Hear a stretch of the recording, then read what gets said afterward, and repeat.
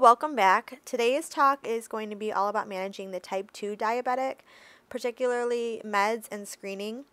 The information provided here is geared towards helping you to better prepare for your nurse practitioner boards exam. However, I do believe that this information could be equally beneficial to the nursing student as well. I recently passed my nurse practitioner boards exam. The topic of diabetes was heavily focused on, as managing diabetes patients is a huge part of working in primary care. Diabetes meds for me were difficult to get a grasp on, and I had a hard time with uh, remembering the names. So, because of that, I came up with some tricks to help me remember them, and I shared those on the last slide here.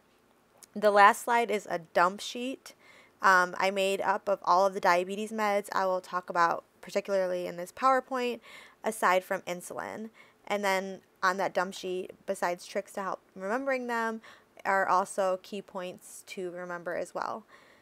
Dump sheets were, it's such a weird thing to say, but dump sheets were something that I used a lot in my studies, um, specifically for my exam. They helped me to remember like clinical pearls. So if that's something that's you like or if it's helpful helpful for you, then just let me know. And then if there is a topic that you would be interested in having like a quote unquote dump sheet made of, then go ahead and leave it in the comments below and I'd be happy to try and make one for you or for everybody, I guess. Myself included, as I said, I love doing these because I learn a lot as well. A quick side note all the white slides that are included, those are strictly discussing dosing and they're not important for studying for your boards. So majority of the slides you'll see are black, um, but for those white ones, I, I just separated those so you'll know that those are not really something that you should be focusing on for your boards you have to really focus on and worry about. However, if you want to be familiar with one, I guess I'd recommend being familiar with the dosing of metformin. I simply included those just to help myself, like I said, but also you, the listener, of course, as well, just to help get familiar with the usual dosages. So, also, if you like what I do, enjoy studying with me, please go ahead and subscribe to my channel so that I can continue to make this kind of content. So yeah, let's get into diabetes medications. So this first slide here is all about the di diagnostic criteria for diabetes. I put this here for reference and what I did to remember these numbers is I simply remembered the pre-diabetes numbers and then anything higher than those would fall in the type 2 category. So that's just how I remembered it. I found it a lot um, more helpful. But like I said in another video of mine, AANP does provide you with all the normal values. So, but still, I think it's really important to have a good grasp of just the diagnostic criteria because you're going to be treating so many diabetic patients. So for pre-diabetes, A1C of 5.7 to 6.4. Above that 6.4 is type 2 diabetic. Pre-diabetes for a fasting plasma glucose is a result of 100 to 125. So if the patient is fasting and their plasma glucose is above 125, then that is indicative of type 2 diabetes.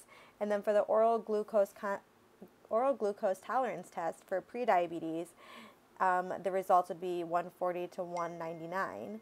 And then above that 199 reading for the oral glucose tolerance test would be indicative of type 2 diabetes.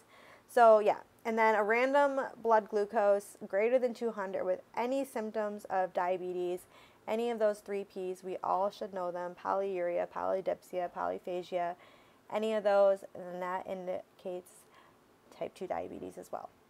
So yeah, helpful tip, just remember those pre-diabetic numbers for your reference and then everything higher than that is going to be your type 2 diabetics. So what are our A1C goals for our patients because they're not going to be the same for everyone.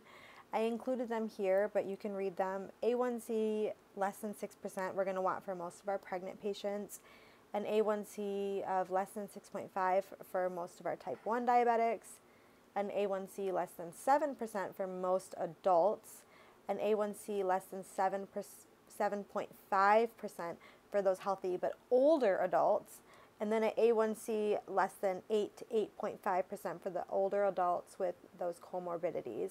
So you can see that we get less and less strict and stringent dependent on the population. Um, patients presenting with an A1C greater than 7.5% should begin medication.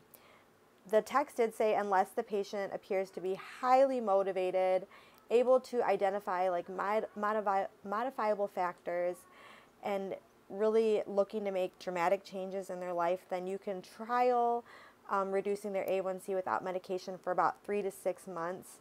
But really, that's going to depend on the individual patient. Generally speaking, though, A1C greater than 7.5% warrants medication. And then those patients, this really pertains to everybody, but um, those diabetic patients with a BMI greater than 25, we really want to be emphasizing also those lifestyle modifications. Weight loss, healthy eating habits, and exercise are huge for managing diabetes in the entire diabetic population. So, the first diabetic medication discussed should be and obviously is metformin, which is a biguanide, and these start at a 500 milligram a day dose. I remember, this is kind of funny, but in my head, big and wide or big old guy metformin. Big and wide, yeah. Oh, that's so funny.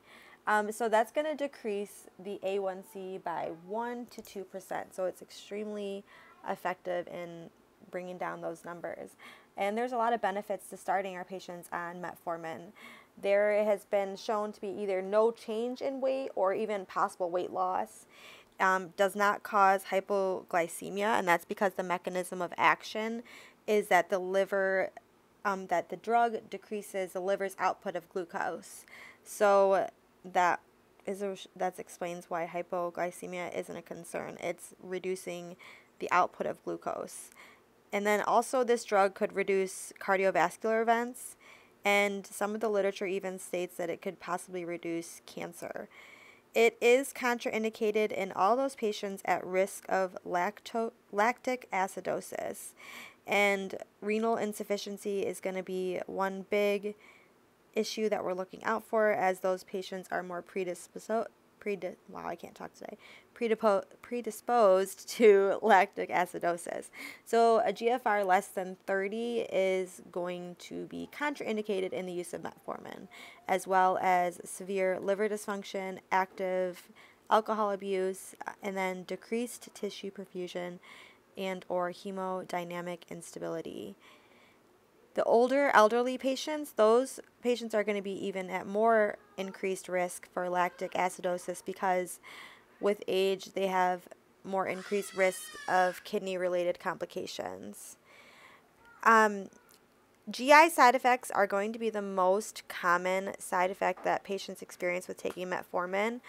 And if they, specifically diarrhea, and so, if the patient begins experiencing diarrhea, then text recommends that you stop metformin until the diarrhea stops. And once it stops, start them back on metformin, but low and slow. So, if you need to cut the dose in half, if you need to titrate over weeks, whatever it is that you need to do to keep your patient on metformin up to date, and all of the other texts recommends to do what you can to keep them on the drug and that it is just so beneficial.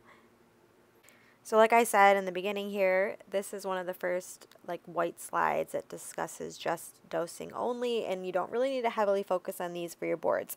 If you're going to really read any of these in preparation for boards, I recommend the metformin. Otherwise, these are simply there for your reference, mine included, and I just think that they're it's nice to get familiar with the normal dosages. So this one will be like the only dosing that I'll really read over. The rest of them you can just look at yourself. But metformin, prior to starting it, we should be checking the serum creatinine and GFR, the liver function test, and the A1C. And then there's a 500, 850, or 1,000 milligram tabs available. We'll t- and the patient will take those with meals twice a day. And then there's some ranges here dependent on GFR that you can look at. And then also, there is an extended release um, option for metformin, and those are taken once daily, and those are available in 500 and 750 milligram tabs. And then also, there's a 500 milligram suspension available. And some of the research now is saying that those extended release tabs have been shown to have slightly less GI side effects. So if our patients really aren't tolerating their metformin, we can definitely try an extended release version and see if the side effects are more tolerable for them. So for the majority of patients, if the goal of a the goal A1C isn't reached within the first three months of metformin and lifestyle modifications, then it's going to be recommended that we add on a second agent, either another oral drug or an injection.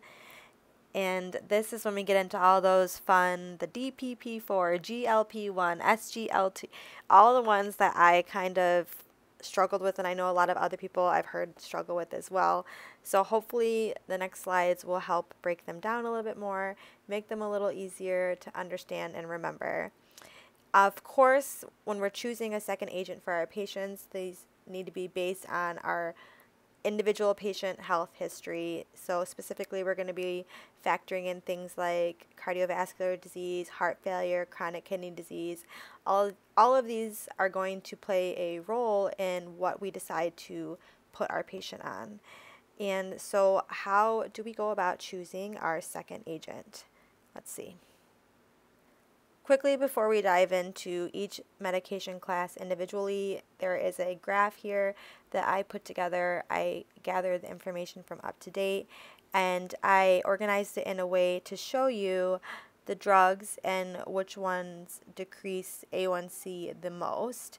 So starting at the top with the SGLT2 inhibitors, that's the, the least reduction on this scale here, although the beginning there are pretty relatively similar, up into insulin, which of course we can reduce up to 3.5% A1C, so that's going to be the biggest reduction there. And then I included advantages and disadvantages of the drugs.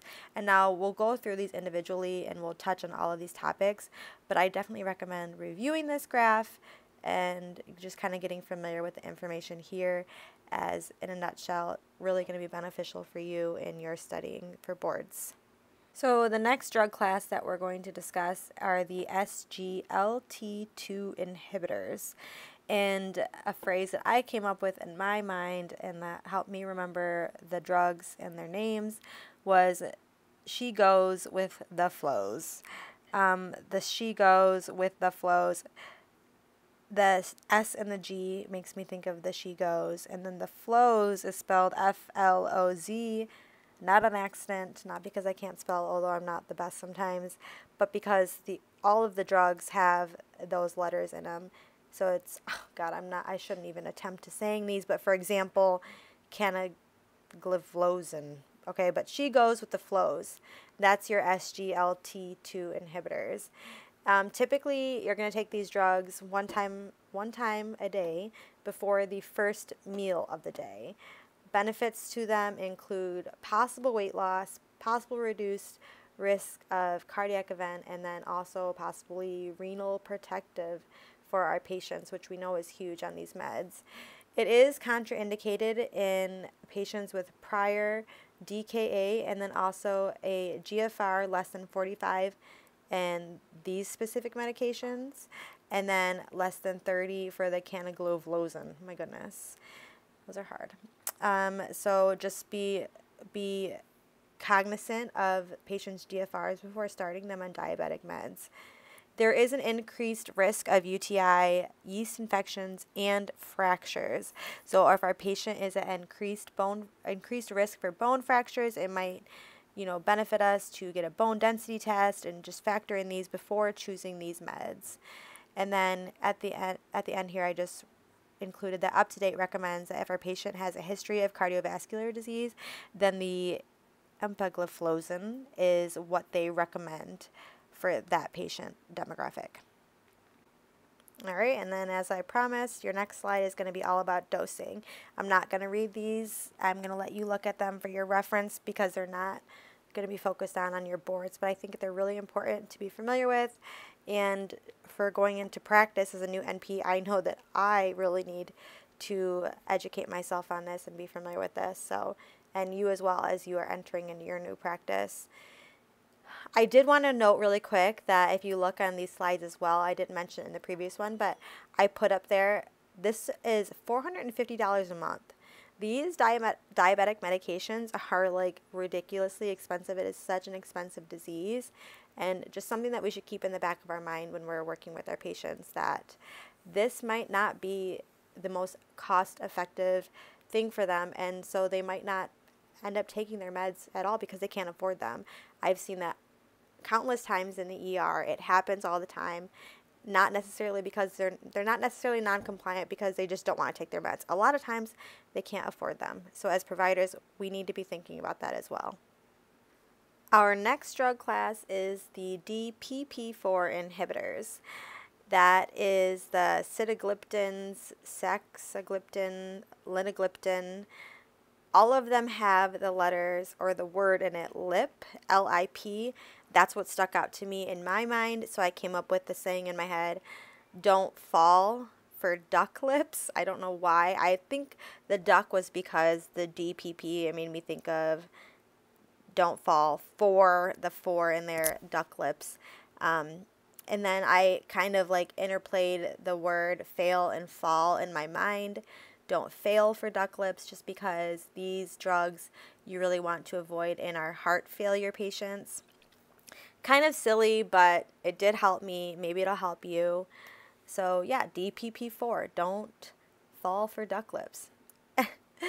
it is an oral medication again, and it can be considered for monotherapy if the patient is unable to take metformin. Of course, that's our first line, and then it can also be used to add on to metformin or another therapy.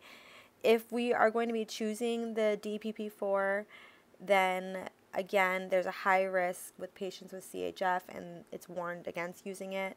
I didn't see that it was contraindicated, but that to me that says don't use it with CHF patients. Um, if we're choosing the DPP4s because the patient has chronic kidney disease and they have a GFR less than 30, then UpToDate has a recommendation for us, and that is to use the linagliptin as the drug because it's eliminated mostly through the through the hepatic system, so it it won't be as harsh on our kidneys. And then we'll check creatinine prior to starting the drug, and then every three to six months for a GFR less than 45, or every six to 12 months for a GFR if it's above 45. And then there are some adverse effects that include headache, nasopharyngitis, upper respiratory infection symptoms, GI side effects are predominantly seen with the sitagliptin. But yeah, there's your DPP4s in a nutshell. And then here is the dosing for the DPP4 inhibitors for your reference. Our next drug class is the thiazolidinediones. It is a mouthful, but in my mind, the way that I remember these medications, I kind of said like this little phrase. I said thiazolidinedione is in the no heart failure zone. Um, all of the drugs end in zone and they are contraindicated in heart failure thiazolidinedione is in the no heart failure zone. So it is rosiglitazone, pioglitazone. This drug class is second, even third line. So for pioglitazone, it could be used as a monotherapy if the other PO agents are contraindicated, like metformin, of course. And then also if that patient doesn't want to have injections and a DPP4 or SGL2 are just too expensive for the patient. These are these are reasons why we might use a pioglitazone as monotherapy. Um, it's contraindicated. The whole class is contraindicated in heart failure, history of fractures, active liver disease, active or a history of bladder cancer, type 1 diabetes, obviously in pregnancy, and then so liver function tests should be monitored and then measured prior to starting. And then there's also, it carries a risk of weight gain, heart failure, fracture, possible increase in bladder cancer, which explains why all of those are contraindications in this drug class. And then here is the thiazolidinedione dosing for your reference. The next drug class is the GLP-1 receptor agonists, and those all end in the word TIDE, T-I-D-E.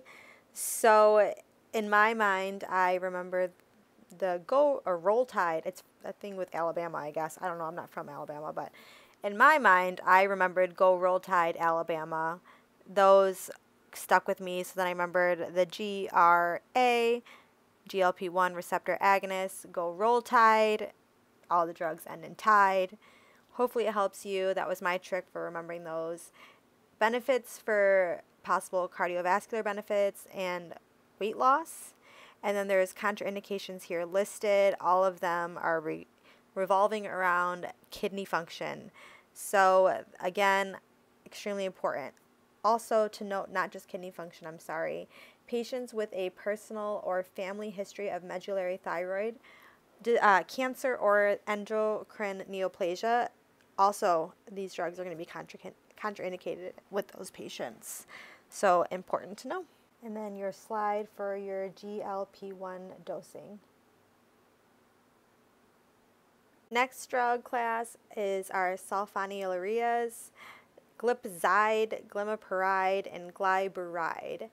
These ones tripped me up with the DPP-4s, but the DPP-4s, remember, roll tide, always end in tide.